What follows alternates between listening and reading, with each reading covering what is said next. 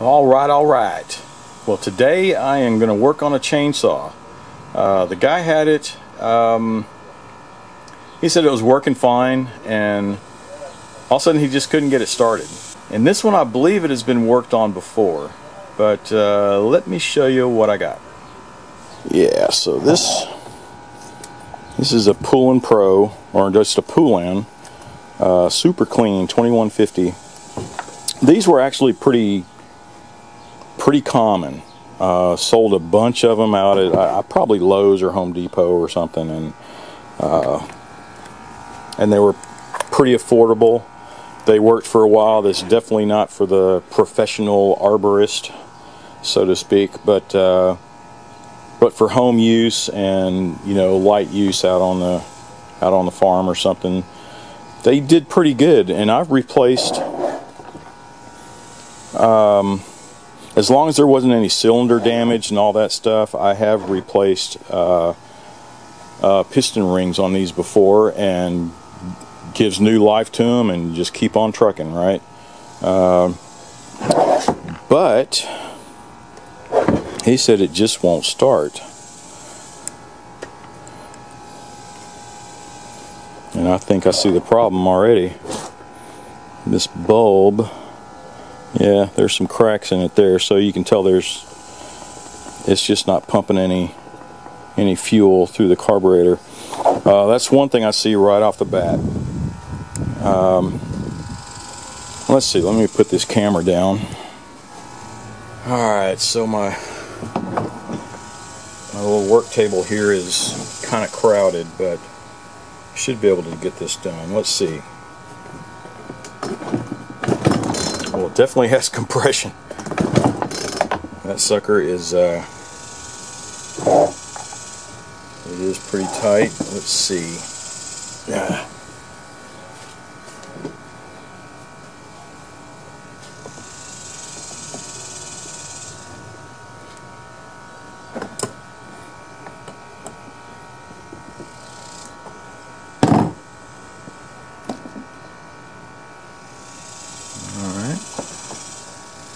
There is some gas in there. Well, I say gas, it could be water for all I know.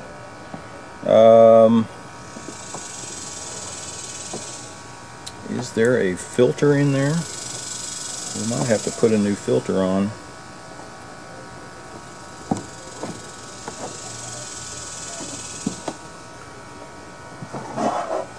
So let me drain whatever fuel is in here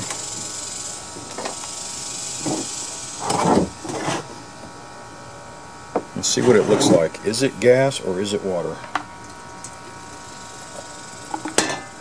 And there goes the uh, filter.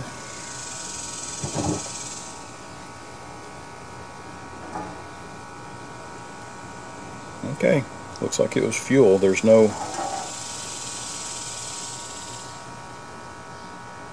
There's no water in there. That's good.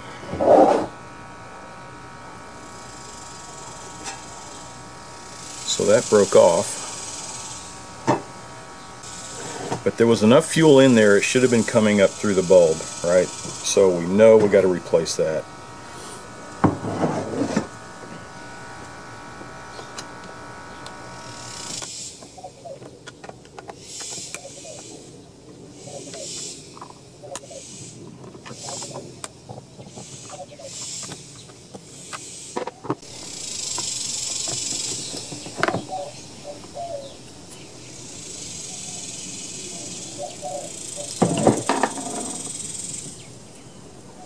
Yeah, there's some little holes. There's a little hole there. And on this side. Yeah, all the way around. So, well, let's, uh, let me see if I have a bulb this small. This is kind of a small bulb.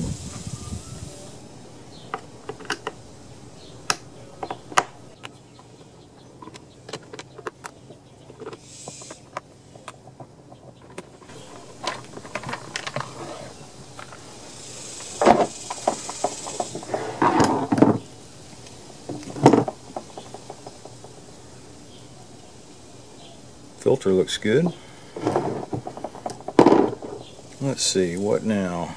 Need to take that off. Alright, this looks like an 8 millimeter.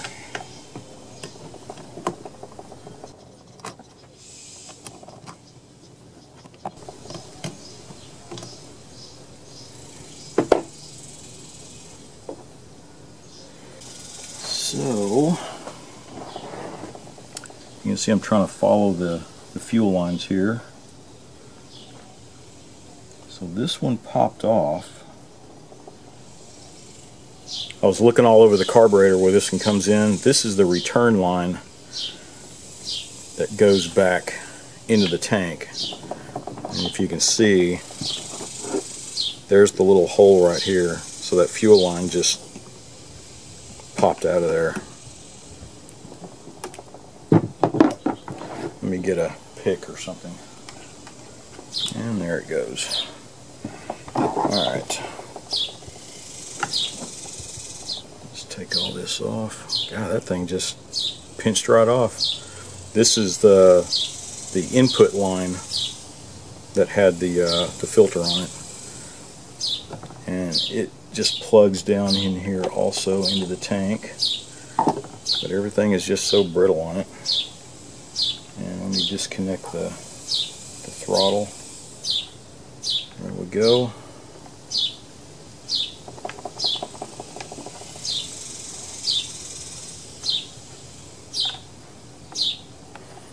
So the return line is the long one.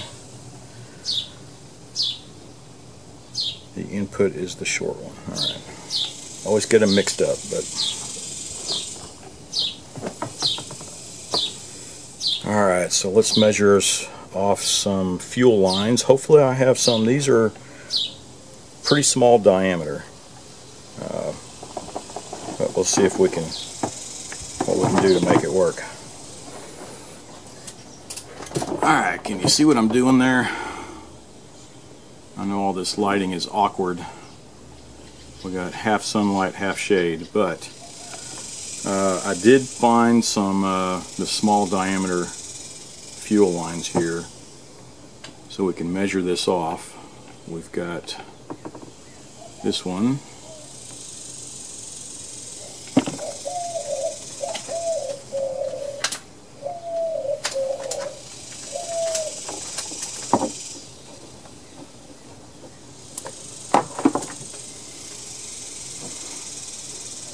this one was the input on the bulb. Let's squeeze that on.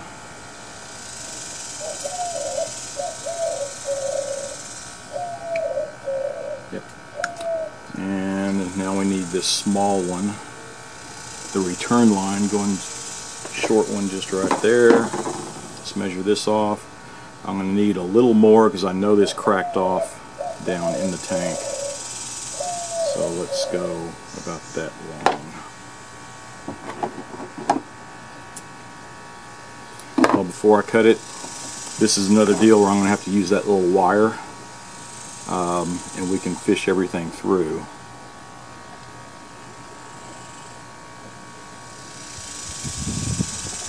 Well, it might go in.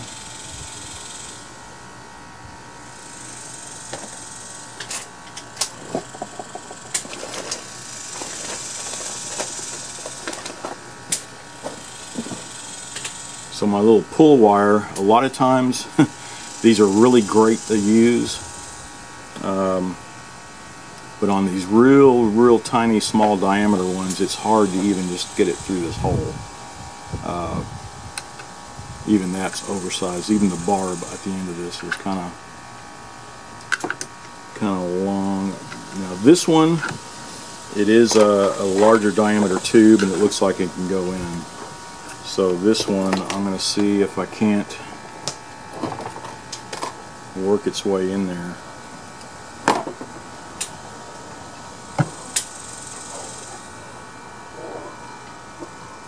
With a little shot of WD-40. Let's see if we can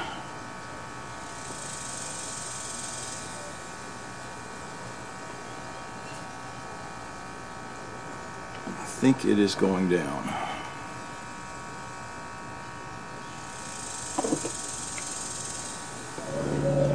So what I'm doing, I'm just slowly, you know, rotating it and adding pressure and it's just, I can feel it here at the bottom. It's starting to make its way through, so slowly but steady. That's got it.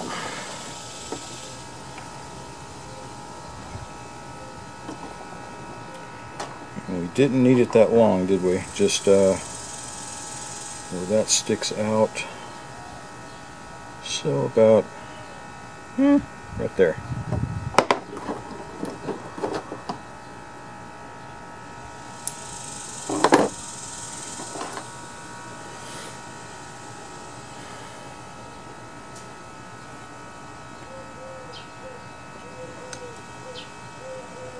So I left enough slack, you can see this. I left enough slack in the in the fuel line so that I can attach the bulb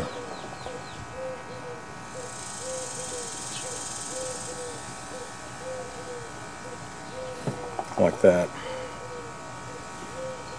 So next time we have to replace it, you know, you don't have to take a, the carburetor back off. You have enough slack to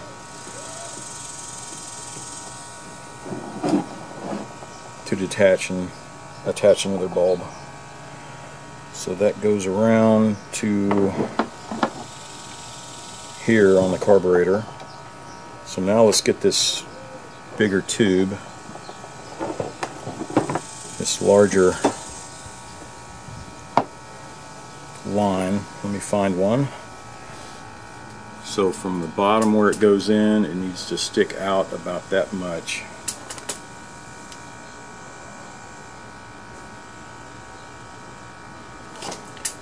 The filter. And then from here up to the carburetor.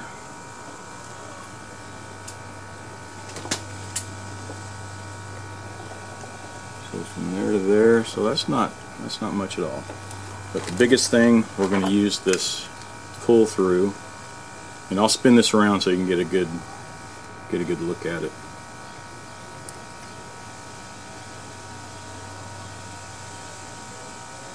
I'm going to cut it just a tiny bit longer than what we need.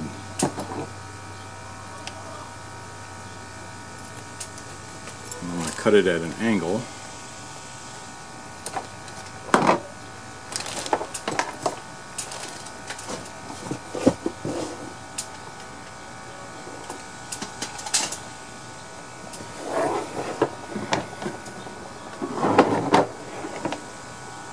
So can you see it a little better?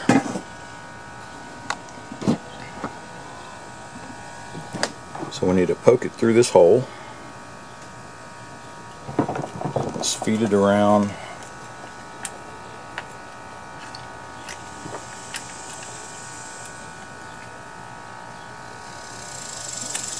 Where is it? There it is. Alright. So it's sticking through there. Now we can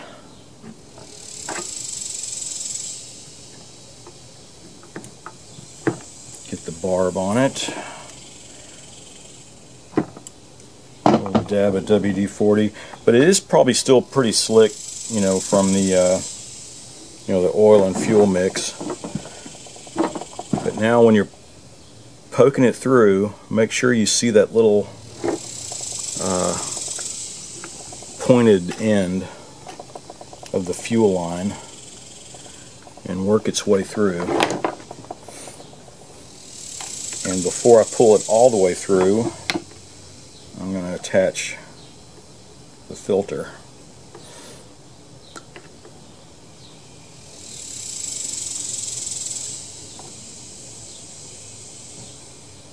There we go.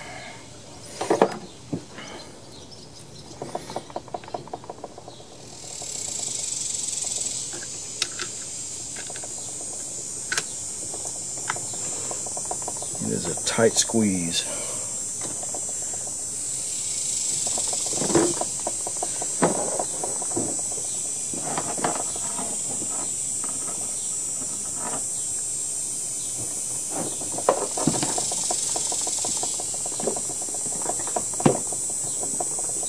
There it is.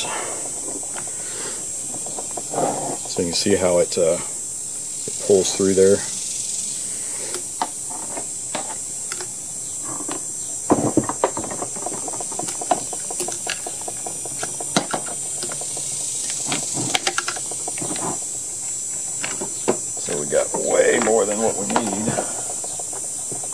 That's fine.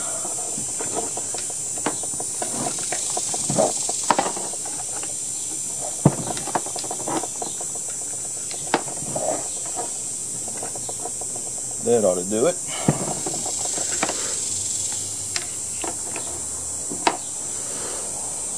And let's see, it went in this way, right? And this one goes up to this top one. So let's cut it off about right there.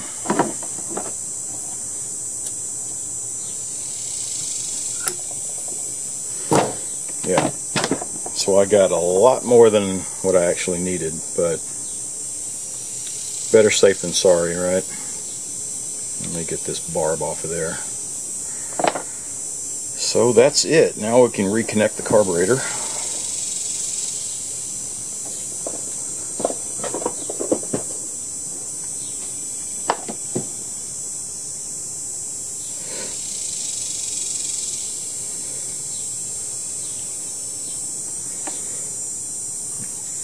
First, I think we need to get the throttle on there.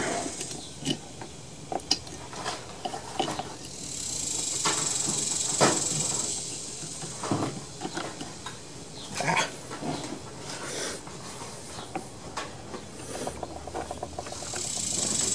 There we go. Okay.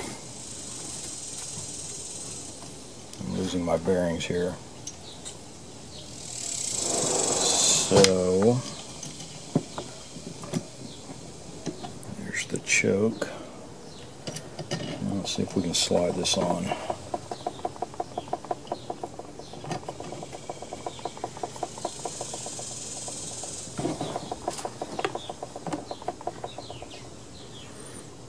That ought to do it.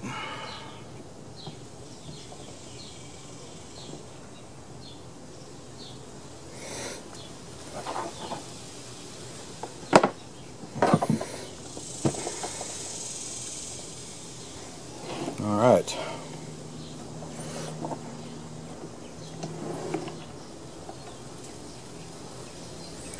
Let's see, which way did that go in there? That way? Or that way? That way.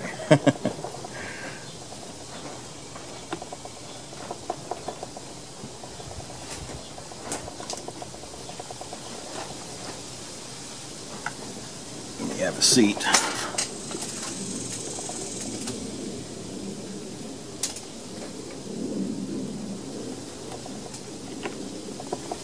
All right.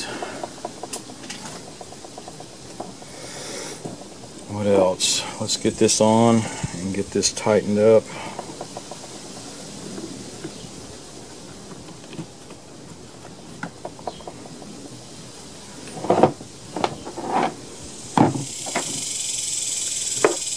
Alright, let's get this screwed on.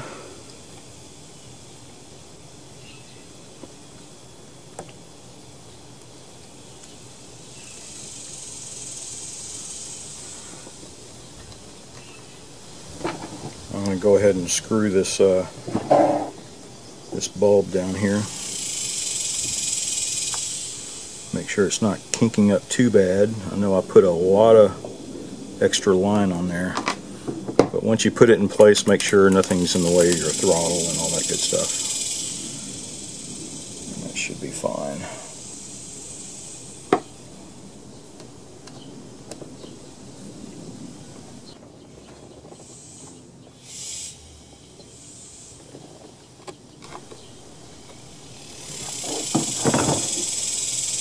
Well, so let's put the spark plug on. Let's put our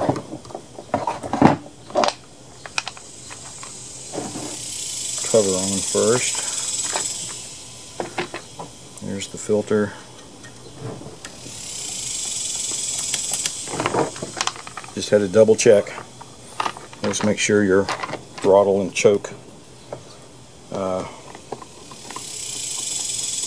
it's operating like it should.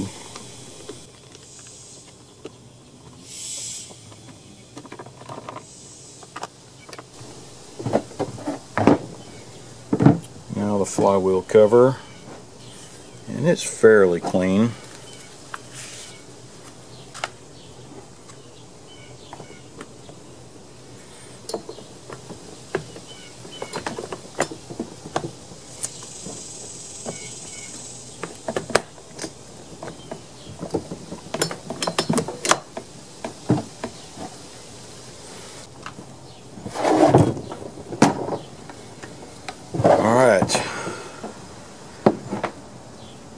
Let's put a little gas in there and uh, see if it'll crank.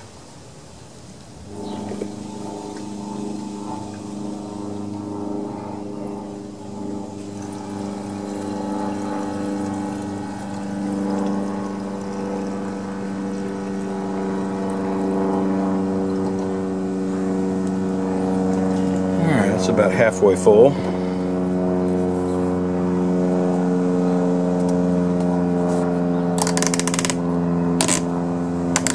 Tight.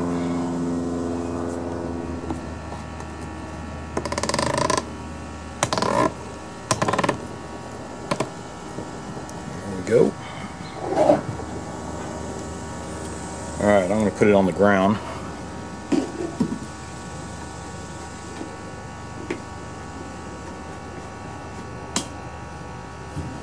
So I have to pull it left-handed anyway.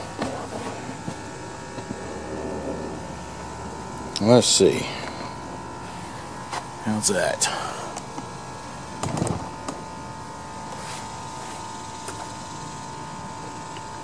Okay, let's check the bulb.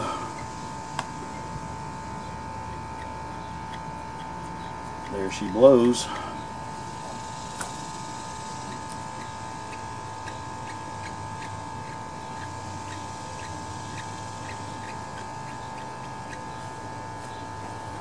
Choke is on.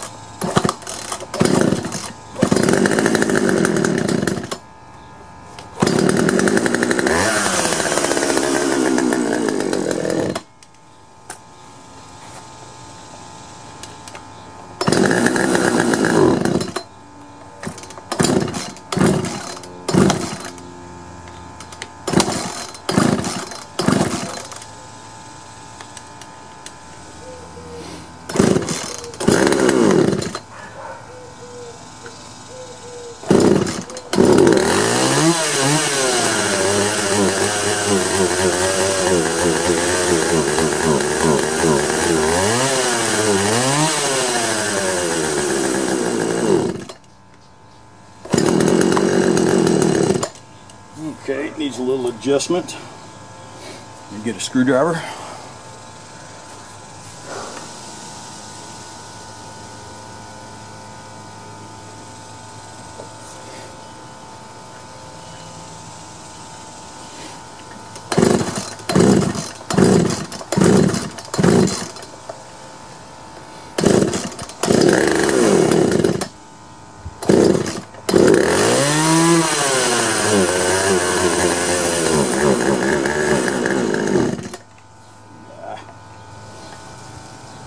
Okay, I'm starting from scratch.